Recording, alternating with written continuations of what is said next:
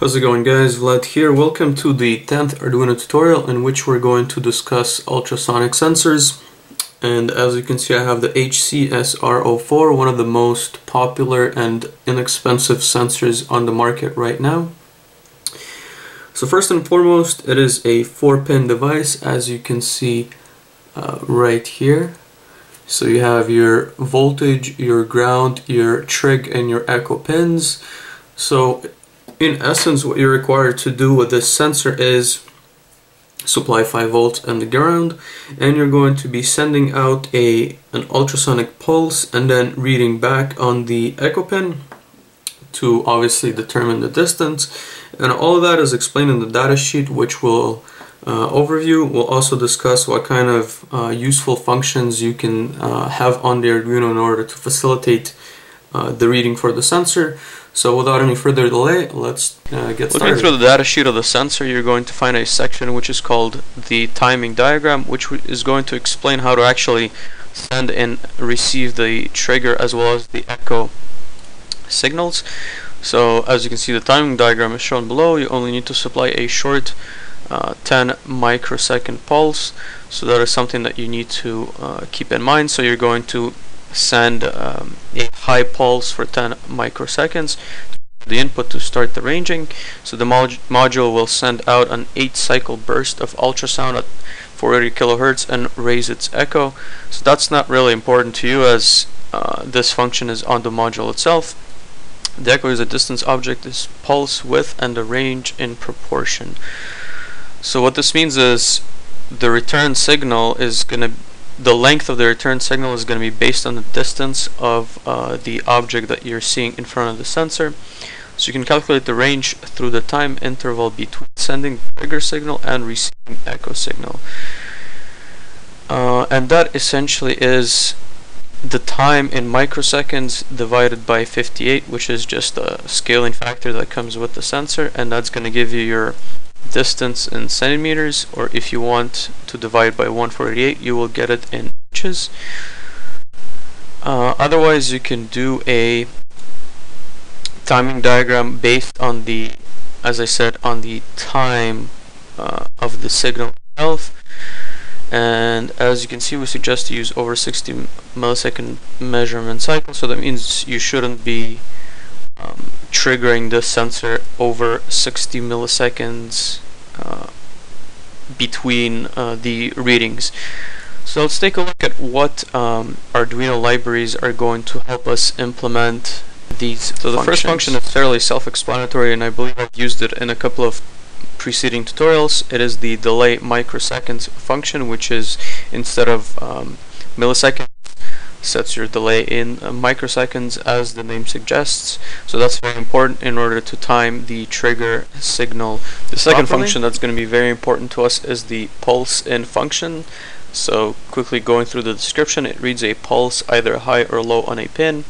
So as an example if uh, you set it to high it's going to wait for the pin to go to high.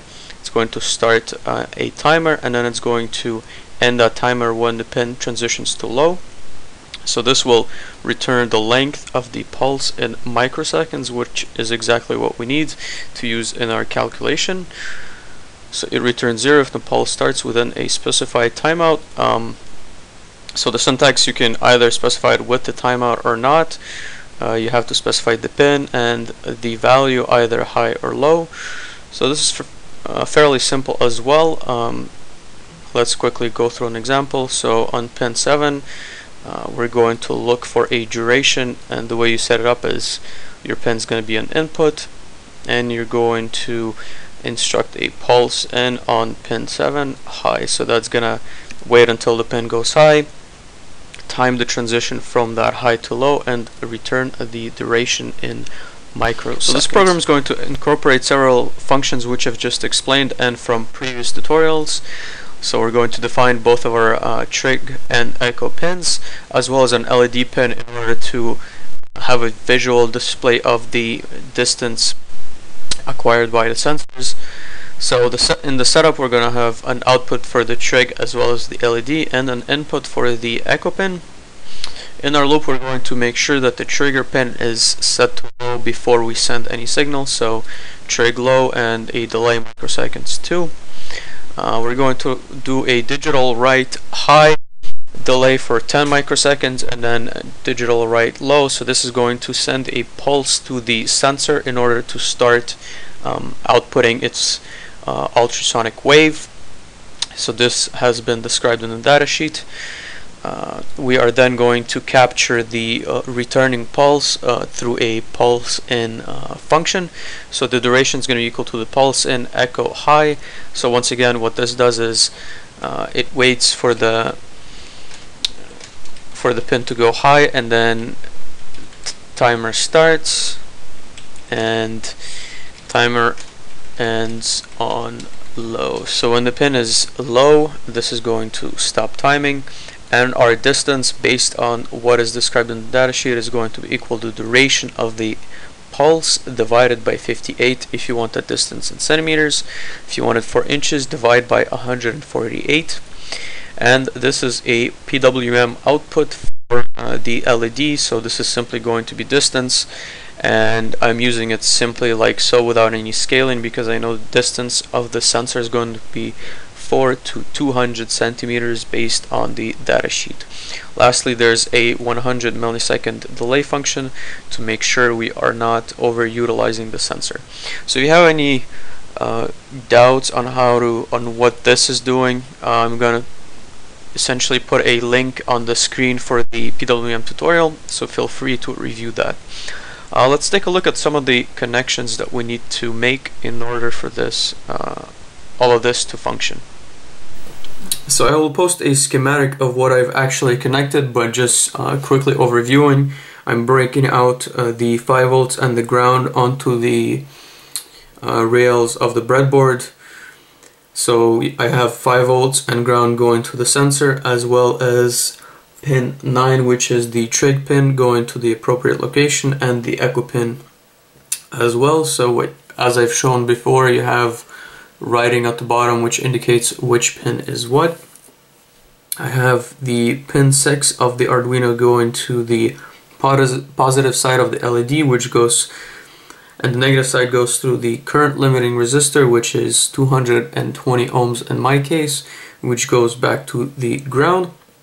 So as you saw in my previous slide I have already uploaded the program so let's do some testing on the sensor and as you notice um, as I bring in my hand closer and closer the LED should uh, go dimmer and dimmer. As I move it back out it's gonna be uh, much brighter. And this goes up to 200 centimeters. Obviously it's gonna be a bit more difficult to demonstrate on the camera.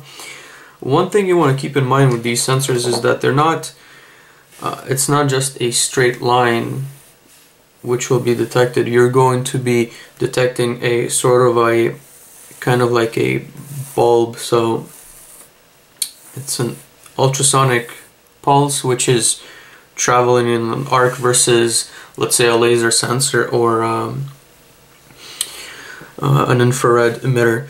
So there you have it, the basic way of detecting an obstacle using an ultrasonic sensor, the uh, HC-SR04 in this case. So let me know if you have any questions. Uh, feel free to share the video, like, comment, um, and subscribe. Thank you. Bye.